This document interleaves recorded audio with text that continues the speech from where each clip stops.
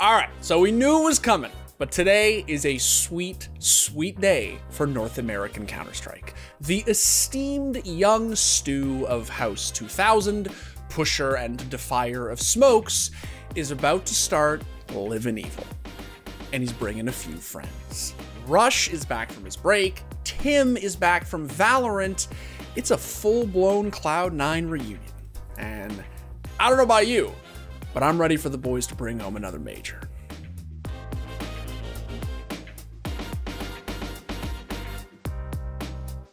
Okay, so livers and lovers of Counter-Strike, like the video, subscribe to the channel, and turn on notifications. I have been wearing this exact Evil Geniuses shirt since 2014, and even though, like the Catos, it actually has aged really well, I do kind of need a new one. So click on things that give us ad revenue. Thanks. Okay, so look, you knew it was coming, I knew it was coming, but it's official. Stewie2K, after just over three years on Team Liquid, has officially joined the ranks of Evil Geniuses CSGO roster. We can't wait to show what we can do and reveal our true potential. Well, it's pulled everyone away from Stewie. He's the only one here. First shot is his, second shot is his, bomb is his as well, and he's got another one. Stewie just tears them all down. It's Stewie.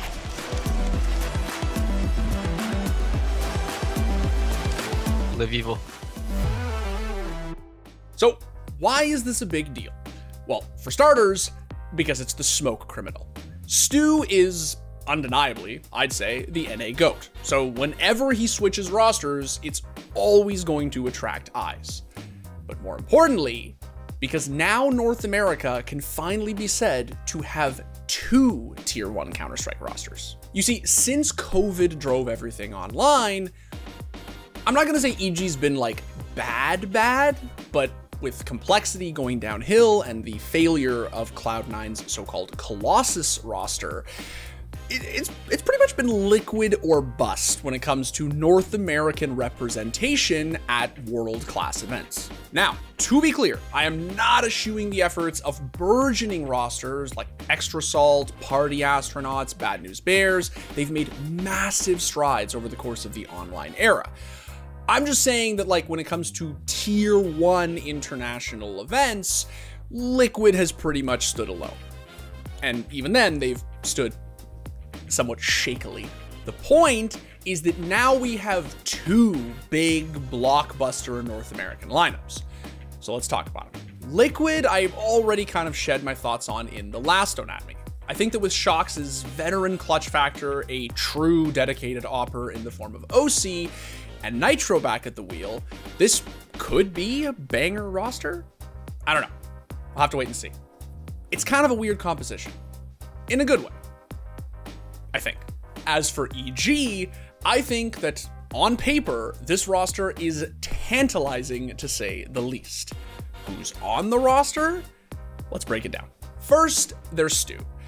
Now, there isn't much to say about Stu other than he's Stu, but what I will say is that as superbly dynamic of a competitor as he is, I think that playing on a roster with clearly defined roles, like this one, will really allow him to focus on doing what it is he wants to do, which right now is lead.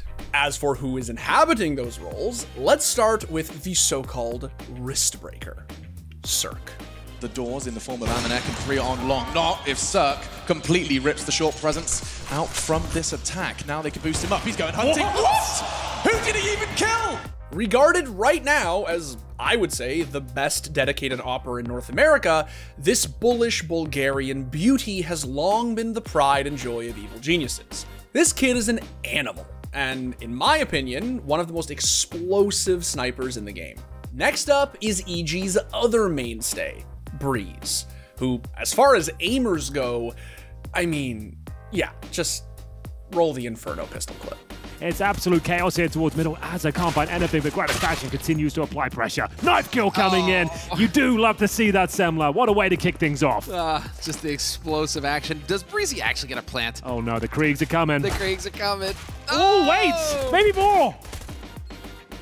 No way. Oh my goodness.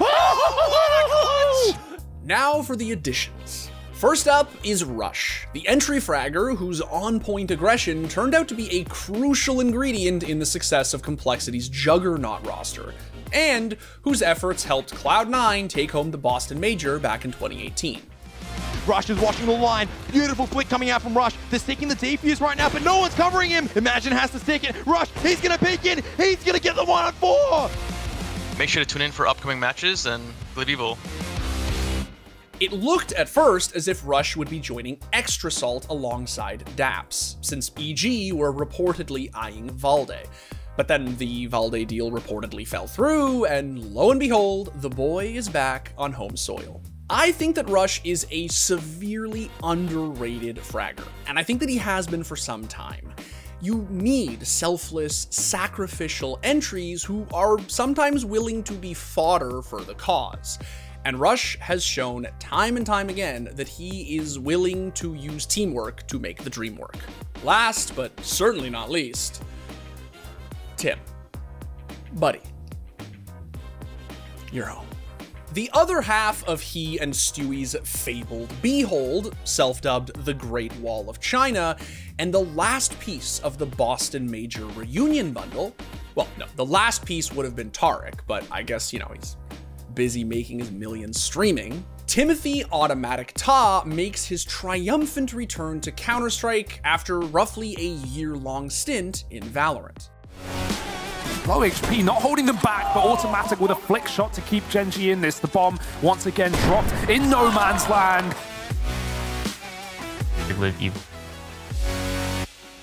In spite of the fact that he probably has a little bit of rust to shake off, Tim remains a stellar secondary AWPer. And in my completely unqualified, unprofessional opinion, when he's firing on all cylinders, one of the best mid-round callers that NACS has ever had. Oh, and let's not forget the coach, maLeK. Fresh off his top two finish at the Stockholm Major with G2, maLeK is a legend in the French CS scene and one of the most reputed coaches of all time. The hope is that with Stewie IGLing, maLeK overseeing everything, and again, such clearly defined roles, something which Liquid went a long time without having, this roster will have synergy and a sense of direction from the get-go. Oh, and as for what else is going on in North American Counter-Strike, it kind of seems like it's back. We've got Daps and Swishers yet to be signed. Orgless lineup, who might become Extra Salt. We've also got Party Astronauts and Bad News Bears still going in full force. And of course, Complexity's newly announced, brand spanking new, organic, locally sourced North American lineup. Formed mostly out of X Extra Salt, but with a healthy splash of Furia slash Bad News Bears and Liquid, Complexity's new lineup boasts almost everything NACS has to offer. Composed of JT, Fang, Floppy, Junior, and Grim, these boys are ready to grind. And do you love to see it. Don't call it a comeback but uh, it does seem as if NACS is back with a vengeance. Most, if not all, of our troops are home, and dare I say, we might be seeing the start of something great. Call it copium, but uh, we might be witnessing the musterings of an actual renaissance. At least I fing hope we are if this was situated, if this was higher in the script, we could totally, and it wasn't a don't at me with like a one day turnaround, we could totally just like hard cut to a scene from the West Wing, right? With like the Secretary of Defense just like looking solemnly up at, at you know, probably be like, bring it, just bring our boys home. Okay, yeah. And the Valorant logo on like the map, just bring it, bring our boys home. Oh, yeah.